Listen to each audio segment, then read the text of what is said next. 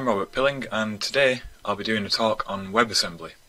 So first a bit of background. I works for Scott Logic where we deal with things like financial software, uh, government work and general bespoke consulting. So I've dabbled in uh, trading systems uh, like web apps backed by the cloud and uh, even done a, a, few years of mobile development as well. Uh, in my spare time I tinker with compilers, uh, explore WebAssembly, and I run an internal Rust meetup uh, where we are currently mob programming our way through writing a trade matching web server. Um, this is great for knowledge sharing and discussion, uh, where which usually ends up going down Rust-shaped rabbit holes um, and irons out some some creases in uh, in knowledge around the language. So on to my talk. First, I'll be giving a high-level overview of WebAssembly, then we'll get into the meat of things. So we're going to write an interpreter for WebAssembly, and to do this, we'll have a quick look at compilers, cover the three main parts of our, our interpreter, uh, the stack, memory, and control flow. And by the end of the talk, I hope to have enough of an interpreter cobbled together that we can do a little bit of maths with it. So watch this space. Now, why WebAssembly? I get a lot of people saying that the browser is a pretty specific place to focus on. Uh, but WebAssembly has applications elsewhere, so as you may have heard mentioned, uh, server-side compute um, lambdas or, or, functions as a service, uh, we can use WebAssembly for that, um, which allows us to nicely encapsulate uh, our code. Um, and uh, we can also sandbox local code with it, so uh, you've probably heard of the supply chain attacks, so things like node modules, if, if that was WebAssembly, it'd be perhaps a little bit easier to sandbox, or um, uh, what we have at the moment, which is JavaScript in the browser. Um, so that's sandboxed, untrusted code, um, but it's difficult to make it go quickly. Uh, we, we need a lot of infrastructure for that, uh, whereas WebAssembly makes this a little bit more trivial. Um, then we, we move on to things like uh, micro front, front ends in the web. So at the moment, if you want to have different apps in your uh, web program, uh, these are all um, isolated from each other via things like web uh, iframes and they talk uh, using post message, which uh, means all of the messages between these uh, different micro front ends need to be serialized and it, it, can be quite slow. So WebAssembly allows us to run different uh, apps all within the same process, so it's, uh, it's a lot faster. Uh, and we can also target various different machine architectures with, with the same WebAssembly module as well, which is really nice. So for those of you who haven't used it yet, or maybe you have without realizing, LLVM is one of the tools that powers this. Uh, it's a code generator, so we can generate WebAssembly for Rust, Swift, Objective-C and C++, uh, amongst other languages. Um, and that's that's what uh, that's what allows us to uh, have this uh, this such a, a, wide range of input languages. So that's WebAssembly. Now we've covered that, so let's move on to compilers. Uh, WebAssembly works a lot like LLVM, so we can use it as an intermediate representation of our code. This is great any of those uh, languages uh, can now run in a browser um, in a local sandbox or, or even say on a, on a Lambda function as a service. So we can build all of our code as, as WebAssembly and leave the nitty gritty details to the implementation. Browsers will then execute this or, or any WebAssembly host and we only need to ship a single binary. So this is great if a little confusing. Now I've thrown around a lot of acronyms. It's, all well and good, but I find the best way to understand something is to write a, a, a bit of a crummy version of it. Uh, so I've done this with side-scrolling games, uh, HTTP downloaders, text editors, and, uh, and a C compiler. Um, now, if WebAssembly had been a thing back when I wrote my C compiler, I'd have probably not gone nearly as deep into writing things like uh, like the code generator that, that churns out the machine code. Um, WebAssembly allows us to avoid uh, register allocation, uh, stack frame layout, and calling conventions to to an extent, depending on the, the source language that we're we're building from. So that's compilers in a, a, pretty high level view of where WebAssembly comes in. Now, speaking of writing compilers. Uh, what's the simplest machine that we can write? Now, a lot of you will have probably written one at some point, uh, perhaps without even realizing it. So, a regular expression can be thought of as a little machine all on its own. Uh, we move it between states by feeding it characters, and we can take a peek at that state um, when we're done. So, once we've fed it the last character, and uh, if it happens to be in the, the accept state, so here if it's in the rightmost one uh, for the D, uh, character, then we say that the regular expression has matched. Now, this is this is interesting. Um, we can do this, and yet the machine has no variables and no memory, um, which actually limits what it can do. So, what's the next step? How can we improve this? Now, while we can do a lot with regular expressions, believe me, um, we can't still perform seemingly simple tasks. Uh, so it's, it's impossible, for example, to write a regular expression to match balanced brackets um, because it has no notion of, of counting or, or, remembering. So this brings me to a, an interview question that a lot of you might have stacked up against. Um, how can we tell if a string contains balanced brackets? Now, uh, here's the solution and the first bit of uh, live coding. Um, now, you might have stumbled across this or, or even written something similar yourself. Um, so we, we can use a stack. So here we have uh, two examples. This one, this first one contains balanced brackets and the second one doesn't. Uh, we've got this open uh, parenthesis here and then an angle bracket. Um, and then I've just wrapped this in a, in a little uh, show function uh, which calls our, our interview question balanced, uh, which tells us whether the brackets are balanced or not. Now this uh, function just has a stack and then for each character if it's an open bracket then we push a closed bracket onto the stack similarly here and then uh, otherwise we expect to pop off from the stack um, the most recent one that we that we saw uh, and if it's that if that's not what we expected then we return false otherwise uh, we've got to the end of the string if we've um, exhausted the stack then uh, then that means that we've got some balanced brackets. So if I just run this, we'll notice the first example here is true and the second one is false, which is exactly what we expect. Um, so this is this is pretty useful. We've got a way to count now. Um, we can look at nested brackets, um, but actually we can do a lot more than that. Uh, we can now write parsers for a large amount of programming languages, in fact, uh, all just with using a stack. Um, now, surely a, a stack uh, it seems it seems easy. Is is it that easy to write? Maybe maybe we could have a look. Um, so let's take a look at this uh, stack.rs that we have here. Now, for a stack, we need a way to um, create it, I suppose. Uh, we're going to need a way to push something onto the stack, pop, and I guess it would be useful if we knew how to tell if the stack is, is empty as well. Um, and for this stack, we'll need some kind of backing storage. So let's let's just use a, a vector. Um, it's a pretty ubiquitous data type and uh, we can have a go at implementing these functions. So the new function we just want to return um, a stack and we'll just uh, initialize the vector there. Uh, push, I suppose we want to take some kind of t and then we'll just uh, we'll just forward that onto the vector so we'll just say push that onto the end of the vector. Uh, pop is going to be kind of similar except this time instead of taking a t uh, we'll return a t so again we'll do a similar kind of thing, except instead of pushing we'll just uh, pop from the vector. Now this gives us an option, so we'll just want to unwrap that and just assume that it will always succeed, just to make things a bit simpler down the line. Uh, finally we've got uh, is empty. Um, for this we'll just want to return a boolean and again we can almost cheat a little and just say if the vector's empty then we're empty. Now I've got a test down here um, that just pushes and pops onto the stack. So we start out with a stack 1, 2, 3. Uh, it shouldn't be empty, we push 4, and then when we pop uh, we should get the 4 back. Then we'll get the 3, the 2, the 1, and then it's finally empty. So let's give that a little run. So we'll compile it first, and uh, we'll just compile it with tests to check that um, that all works. Then once that's built, if we run it, we should see our tests all succeeding. So great, this is us done, and uh, we've written a simple stack. Now, while stacks look simple, they're actually pretty magical because they allow us to do one of the most exciting things in the world, maths.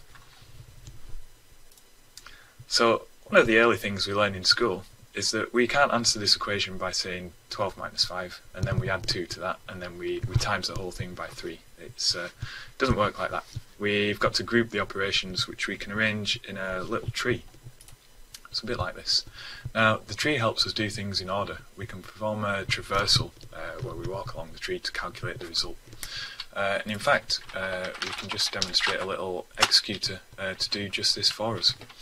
So here, uh, I've just got some, some code and we'll just ignore the, the top bit for now and uh, we'll take a look at this bit. So we've got an operator and that operator is, is a plus and then what are we adding together? Well we're adding together the result of this operator which is minus a 12 and a 5 and then also this operator, which is times and a 2 and a 3, which corresponds to our other part of the tree. Um, so if I uh, if we look at what we do with this code, uh, we just say .eval on it. So um, how does that work? Well, uh, if we look up here, eval, uh, it will then uh, an operator will then have a left and a right hand side. So it'll eval both of those, and then depending on what operator we are, we'll maybe want to add or subtract or, or multiply. Uh, so we'll just do that recursively. Um, but this can't go on forever. Uh, at some point we, we hit a leaf like the 12 here. Um, so I suppose we need some kind of value. And uh, to evaluate a value, well, it is just the value itself. So let's give that a run and see what see what it prints out. So we get 13, which is actually the right answer, um, which is, is a relief. Cool. So what we have here is called a, an interpreter. So um, the Python code runs, and the Python code is what, what cranks through and, and calculates it. But we, we want to do a bit better than that. Uh, we don't want Python around to, to interpret our, our abstract syntax tree, which is what uh, this bit is called. Uh, let's instead uh, try to generate some code. So um, what we have here is pretty similar. Um, except there's there's a few crucial changes. This time, instead of printing something out, we just emit some code at the end. Um, our syntax tree is exactly the same. Um, now, this time, for a value, instead of actually returning it, we don't want to return anything. We want to actually emit some code. Um, so here, uh, we're just going to use the stack from earlier. So we'll just push whatever our value is onto the stack. And then an operator is going to behave uh, similarly. So we'll um, get the, the left hand side uh, to emit itself, then the right hand side to emit itself. Then we'll uh, we'll pop from the stack into let's just call these two variables. So we have an L and an, and an R. Um, so we'll pop into the R because the right hand side was the most recent thing that we uh, emitted, and then we'll pop the next one into the L, which corresponds to the to the left hand side. And then, as before, um, if it's a plus, we do a plus. If it's a minus, we do a minus, and so on. And we'll push that result back onto the stack. So if we run this, we now don't actually get an answer. Um, we get what looks like a load of gibberish um, to do with uh, pushing and popping onto the stack. So this is interesting. Um, we still need to compute our equation, um, and I guess we need some kind of little machine language that helps us out with this. So here's how we might do that. So we'll we'll have a machine, and uh, I suppose the first thing that we need in this machine is a stack. So let's just add that in and we'll call it a, a, stack of values just because the these generic values will just be what we'll, we'll deal with. Um, and then we'll let's create uh, one of these machines. So we'll just do that here, and we'll just initialize the stack to to an empty stack.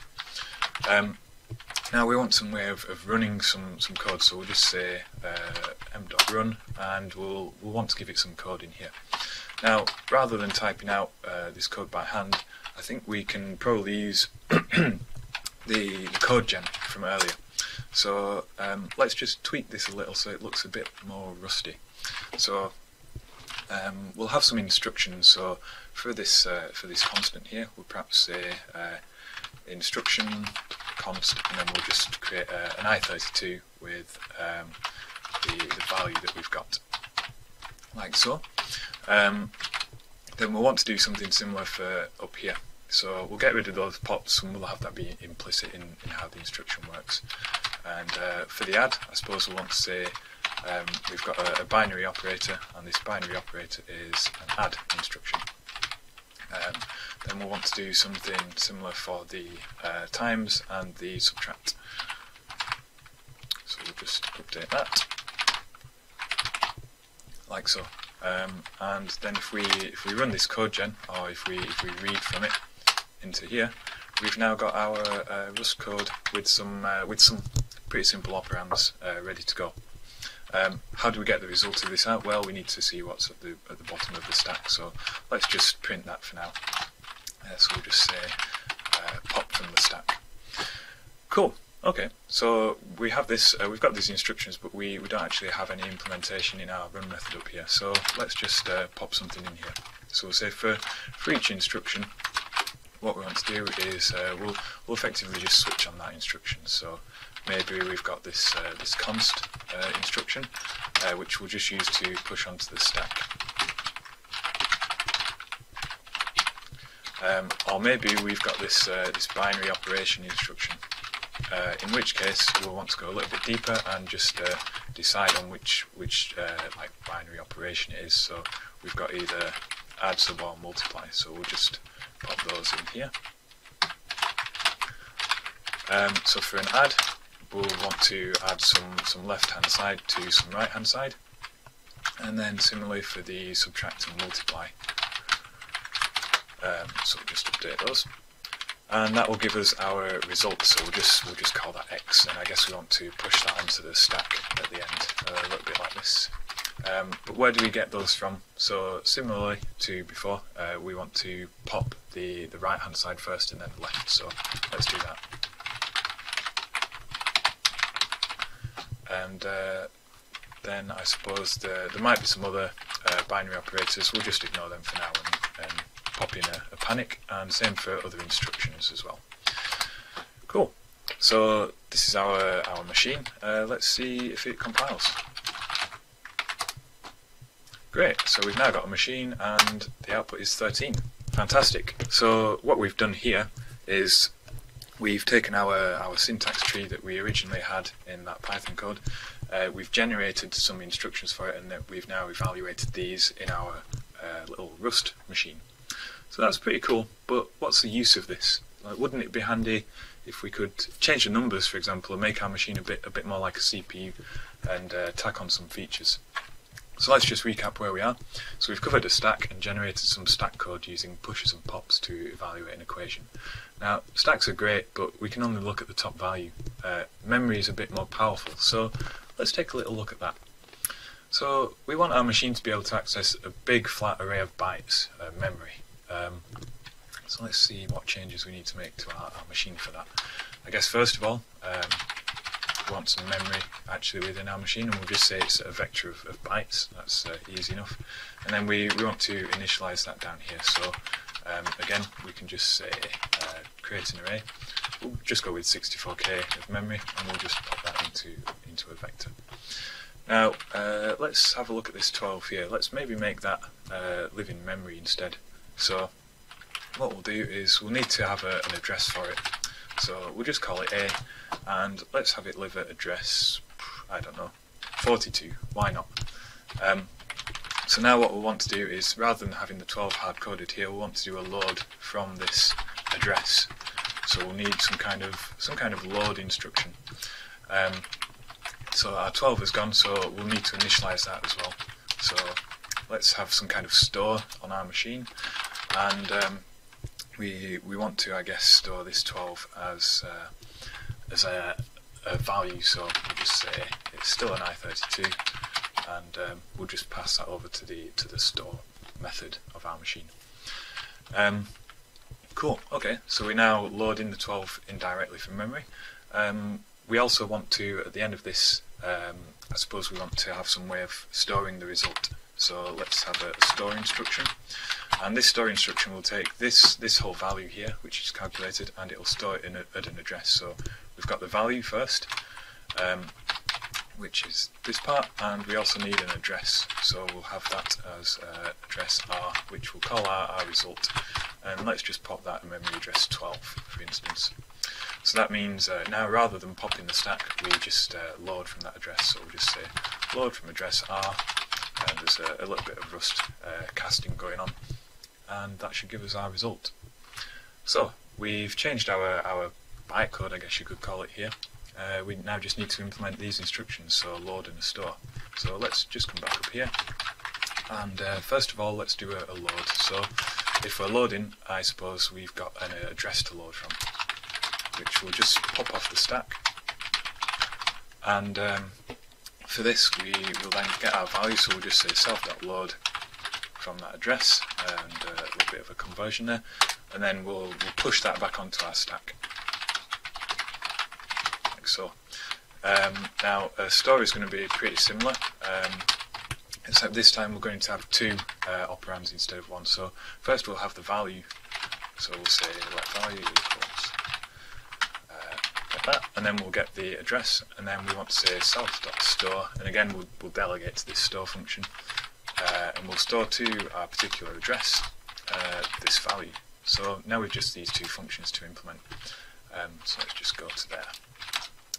And we'll do the, the load one first. So uh, this one is uh, perhaps a little bit simpler in implementation. We'll just take an address and we'll, we'll give back a value. Um, so there's a, a, little bit of uh, Rust, um,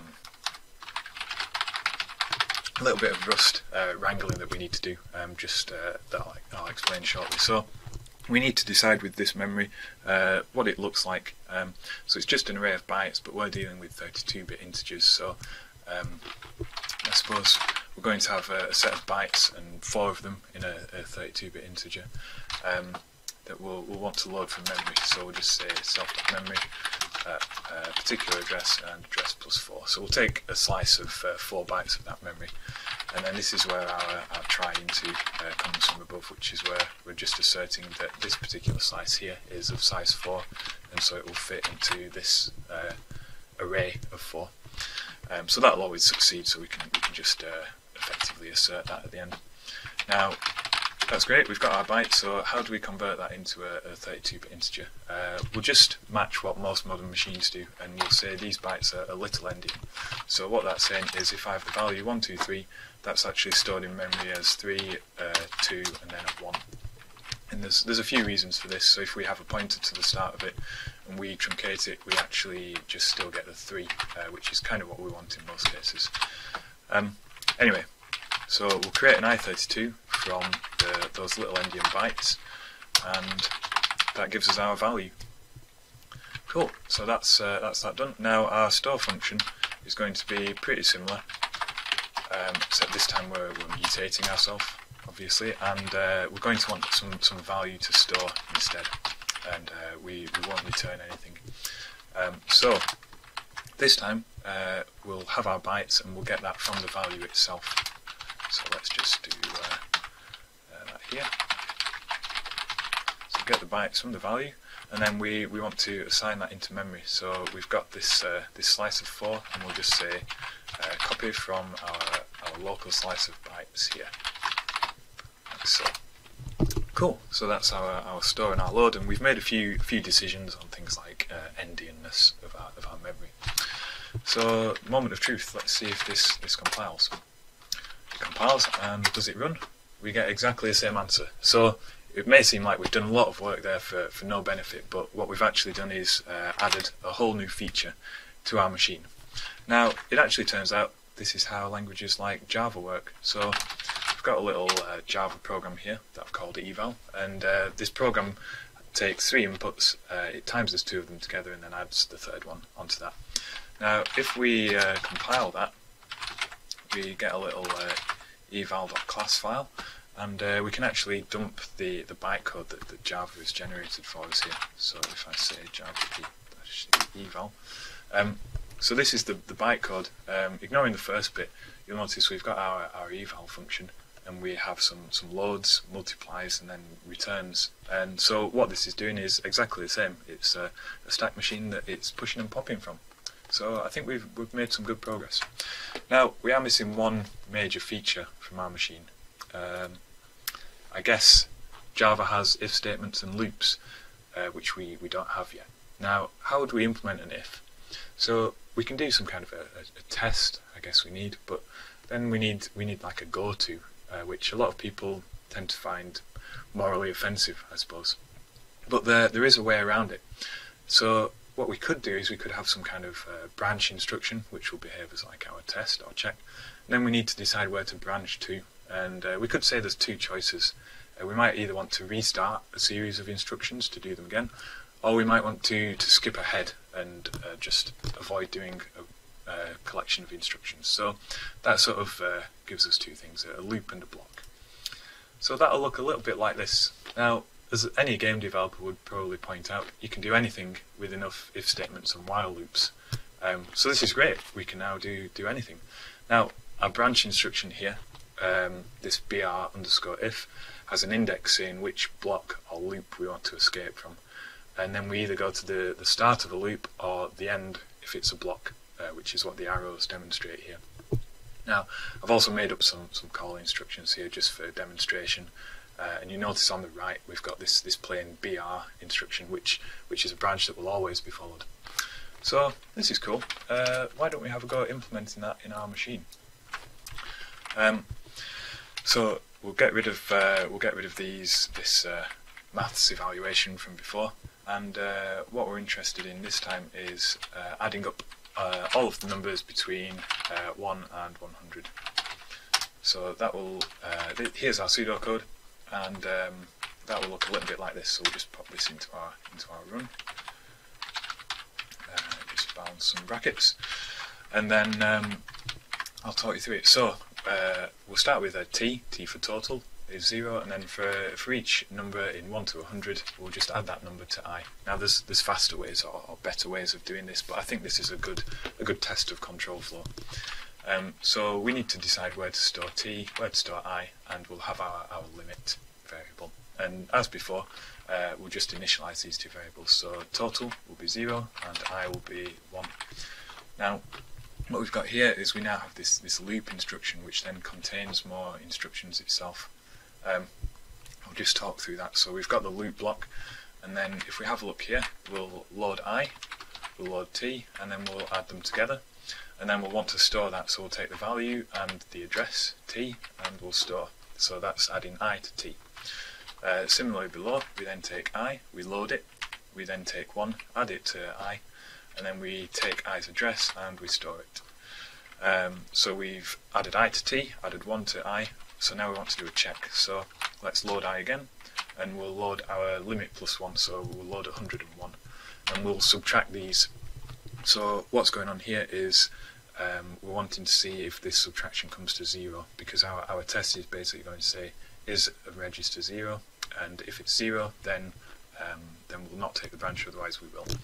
So if we've taken away 101 from i, and that's 0, then that means i must be 101. So in that case, um, we, we don't want to branch, otherwise we'll say branch to a depth of 0. And the 0 just means that we're going to go to this outermost uh, loop here, and continue the loop. So, finally at the end, I suppose we want to load our t and, uh, and see what our result is. So we've got our, our bytecode here, and we just need to implement a couple of these new instructions. So let's have a look at that. Um, I suppose the first one that we'll want to implement is our, our branch if. Um, that's going to have uh, some depth. Now with this, um, what we'll want to do is uh, look at a condition that's on the stack. So let's let's just pop that off the stack first.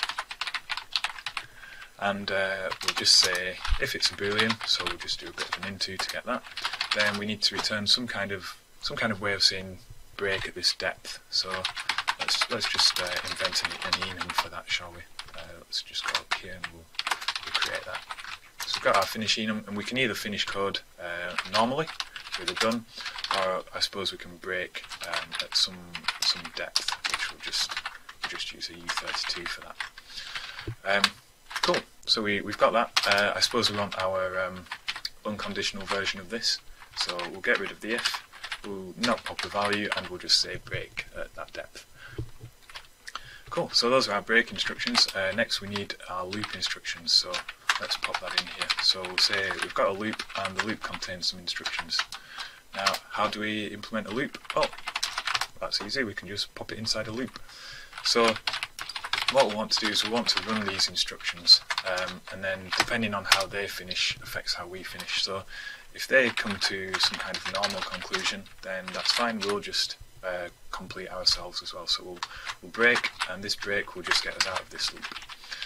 Now if they come to some kind of a break then this is where things get uh, a little bit more interesting.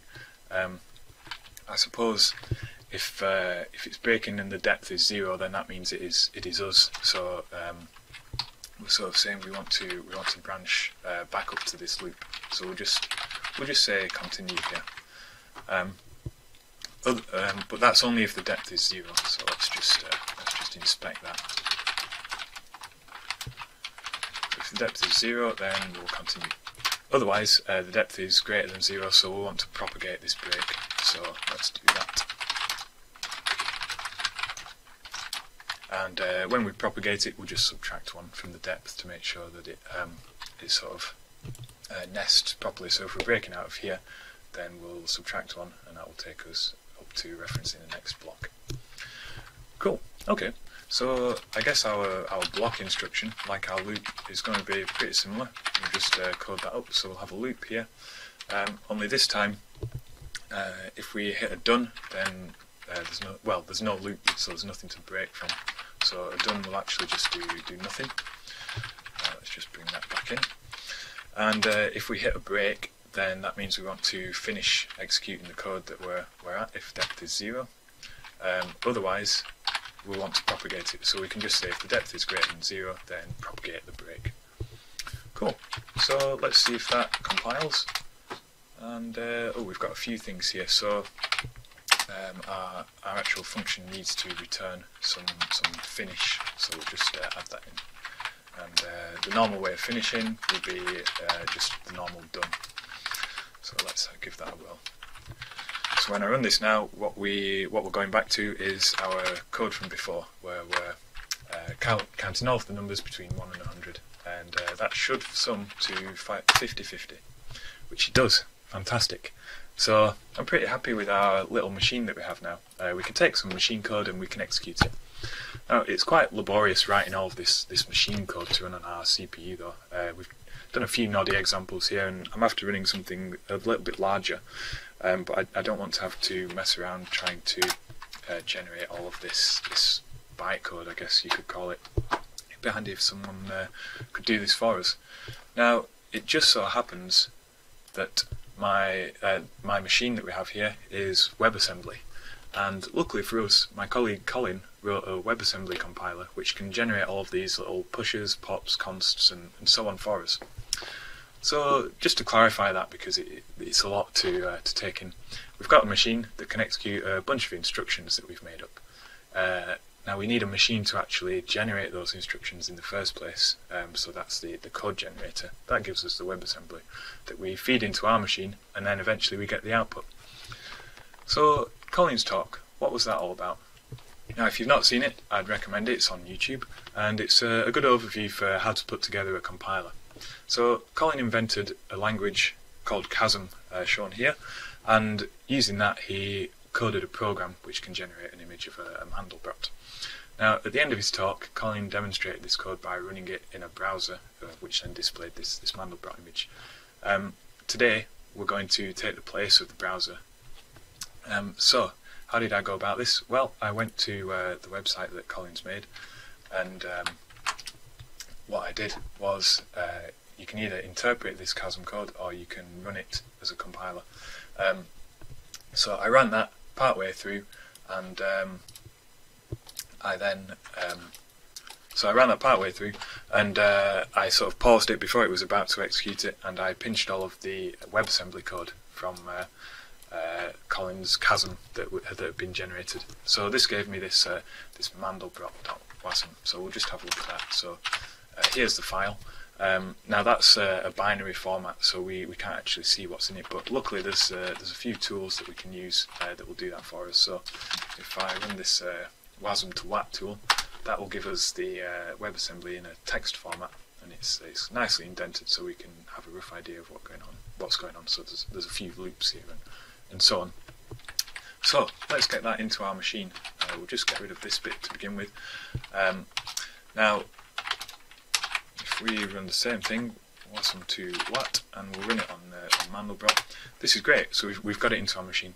Uh, the problem is we can't execute this. Uh, this this isn't Rust code, um, but we can tidy it up a little bit. So we'll just get rid of some of the things that we don't need, and then um, I guess we need to just convert this into into the bytecode that we had before. Now it's a, a line-to-line conversion, and it just so happens um, I've got a throwback to earlier. So talking of regular expressions, they might not be powerful, but they're really useful. And here I've got some uh, that can just convert all of this WebAssembly code into uh, Rust for us. So let's just give that a go.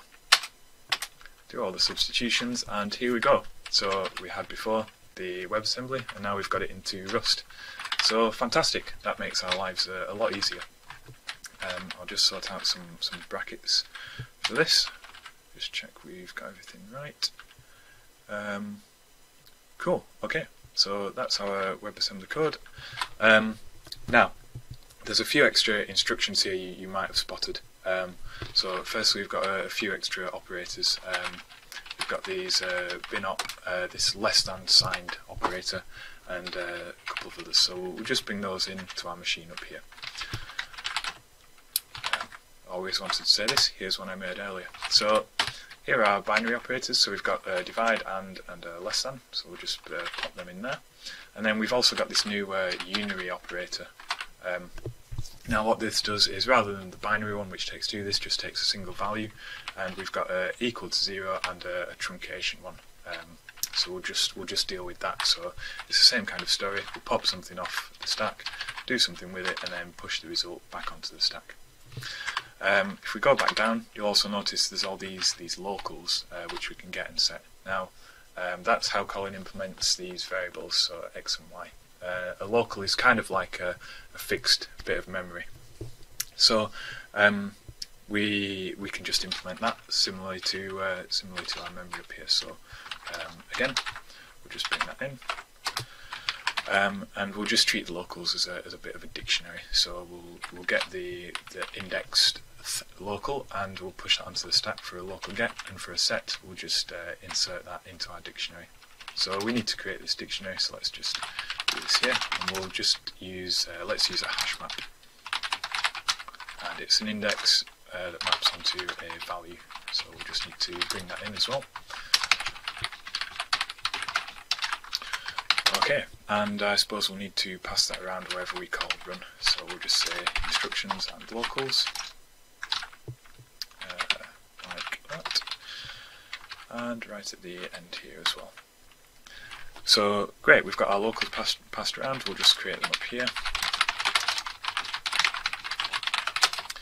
Um, and we we can just assume that Colin's code will, will always initialize a local before using it, so we, we don't need to worry about any of that. Um, there's one uh, other instruction that we need to look at, and this is a store instruction, uh, actually a store 8, which is what Colin used for generating the, the bitmap. So we want to just take the, the bottom 8 bits of a value and store them. So uh, let's just implement that up here near our other store instruction. so similarly to the store, uh, this one also pops a value, pops an address, and then we, we take the bytes and then we'll just take the bottom byte, so the zeroth byte, and store that at that address. Cool. So those are the extra instructions now added. Um, there's one other thing though. We're generating a, a Mandelbrot, but at the moment we've just been popping a single value from the stack. So how how can we view this? Well, um, the way that Colin's code works is it generates the, the Mandelbrot in memory, so it's uh, like a 100 by 100 image. So if we have some sort of uh, bitmap, I suppose we want to, we want to have like a, an image, um, and we'll, we'll just say it's a 100 by 100 image, and then we need to populate this image um, from the from the memory that's in our machine. And then once we've done that, we'll just print it out, and, uh, that should let us take a look at it. Um, so how do we how do we do that? Well, we can just uh, go over all of the coordinates, and uh, for each uh, coordinate uh, we'll get the uh, the ith byte of memory and we'll just say yep the image at that coordinate is that byte. So this will take us uh, left to right top to bottom over the image. So let's see if that works. Now we've uh, oh a few uh, imports missing that I just need to, to add. So let's start one. Um, oh we need to bring in our image and uh, pass a reference to our, our locals here as well there's our reference to our locals and our image is in this uh, TTY bitmap uh, module that I've written. So we'll just bring that in and use the, the image from it. Okay, um, oh, there's some unused variable, but that doesn't matter. So this is great. When we run this, it should generate uh, Mandelbrot. Uh, now this is really the white knuckle ride because uh, it's quite a bit of code, and we've no idea whether this will actually work correctly because I, have just cobbled this together. Um, so here's the moment of truth. Hopefully, it will give us a Mandelbrot image at the end. There, the the uh, program's done, and what do we have here? Well, it's the same Mandelbrot image from Colin's, uh, rotated a little because uh, there's differences in uh, where the y-axis starts, um, but uh, there it is, Colin's code actually running and uh, on our little machine. So I'm uh, I'm really pleased with that. I'm glad that worked. Now, what's going on here? Uh, I guess you could say this is a this is a Chasm program running in a in an awful interpreter. Do not use this in production. Now the, the software for it is Chasm code or, or WebAssembly. Uh, I guess I guess you can call it whichever you like. Both is true. Uh, to quote Obi Wan, it depends on your point of view. But it's pretty amazing. We've taken this WebAssembly thing and we've run it nowhere near a browser, just from just from something that we've knocked together in the past 30 minutes, and we've still got the same result. We can peek behind the scenes and, and decide actually how we want this WebAssembly code to run. So we can not only run WebAssembly code, but um, anything that, that compiles to WebAssembly, so we can run C code, C++, Swift, or even perhaps Rust code as WebAssembly, then inside our Rust interpreter, which uh, I think is pretty cool. So to recap, we've managed to go all the way from having a simple stack up to running pretty arbitrary code on our little machine. And I think this is amazing. It really is turtles all the way down. And uh, this brings us to the end of my talk. So uh, thanks for watching. I've had a fantastic time.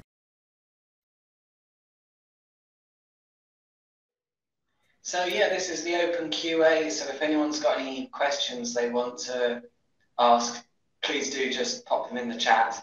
Uh, we've got a few observations. One of them is Mandelbrot fractal exclamation mark. I guess it's, it's my favourite fractal. I don't know about you. Yeah, yeah, mine too. Um, it would have been cool if I could have added uh, a bit of a zoom and just just go into the the Mandelbrot and uh, see if it's turtles all the way down there. I mean, it, has got to stop eventually, right? I, have heard that it doesn't, but you know, I haven't got the computing power at my disposal. Same. No, not especially not if you're running uh, that kind of interpreter that I wrote as well. yeah. Another person said, "Amazing how much you managed to squeeze in in 42 minutes." It's like someone had a stopwatch, didn't they? Yep, yeah, I uh, I really had to trim some things down to uh, to get everything in, but I, I feel I kept it to uh, to the most important bits. Um, I was glad that I had the the templates at the end because I I think there was uh, a lot of it was repeated. Like I, I quite like that about WebAssembly. Once you can grasp the um, the main like instructions that you have, so stores, loads, and uh, and so on, you you can sort of tell what what everything's going to do, and it it, it like opens up uh, the rest of WebAssembly for you. Really, um, it's it's just very accessible language. Yeah, it's super simple. Have you done anything with other assembly languages before then? Yeah, so I've uh, I've done a little bit of tinkering with uh, x86. So that's the uh, the yeah. assembly language that most of our, our machines run on, um, unless you're on one of the new uh, M1 Macs or a, or a phone, of course, which is ARM.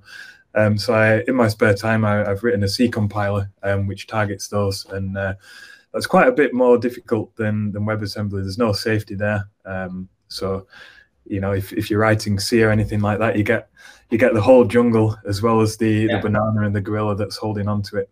Um, so how does the instruction set actually compare? Because I know the WebAssembly instruction set quite well. I mean, I couldn't tell you all the instructions, but I know there are about 40 or 50, and they're all really quite simple. With x86, how does it compare? Is it a larger instruction set? Are the, are the instructions in some cases a little bit more complicated in terms of the operations they perform? Yeah, yeah. So I think that's uh, that's a good question, and there's a lot of uh, routes that we that we could talk about there. So um, when you asked about the the size of the instruction set, so for x86, there's it's something ridiculous like fifty thousand instructions, um, and this is including like um, yeah, all, all of the single instruction multiple data like um, superscale. Oh, oh yeah, SIMD massively multiplies. Yeah. Yeah, yeah, exactly. And then you've got a lot of built-in instructions that uh, that aren't really used anymore, but are just there for backwards compatibility. So running it in 16-bit mode, or uh, you've got things like uh, uh, like figuring out um, sine, so trigger trigonomet- trigonometric functions uh, that no one uses because they can actually be implemented faster in software. Uh, funnily oh, enough, really, there are trig functions on the CPU. Yep. Yeah. Exactly. And there's even um, let me, if I remember rightly, it's either SHA two five six or um, I, I, think there's several cryptographic instructions on the CPU as well. There was a bit of a um, a conspiracy about that where um, the Linux kernel is going to use some of these and uh, some people are like, oh no, we, we can't use that. We, we don't know the source of randomness and we don't know if it's if it's cryptographically sound um, and so on. So yeah, the the instruction set has really uh, swelled over the years and, and there's quite a lot of scope creep. Um, but if, if you if you take it back to its basics, like the original 86, uh, 8086 chip, um, it's yeah. you, you can draw a lot of parallels with WebAssembly. Um, you know, you've got the basic um, add and store uh, in uh, add, multiply, and so on, and then you've got your loads and stores, uh, your calls and returns and uh, whatnot. But I, I always um, get the feeling with the WebAssembly, it's a lot safer and it's more structured. So uh, loops, uh, as you saw in the talk, um, Yeah. it, it's already demarked where what exactly um, will be looped over. Whereas in uh, in x86, it's just you just jump and it just so happens to make a loop.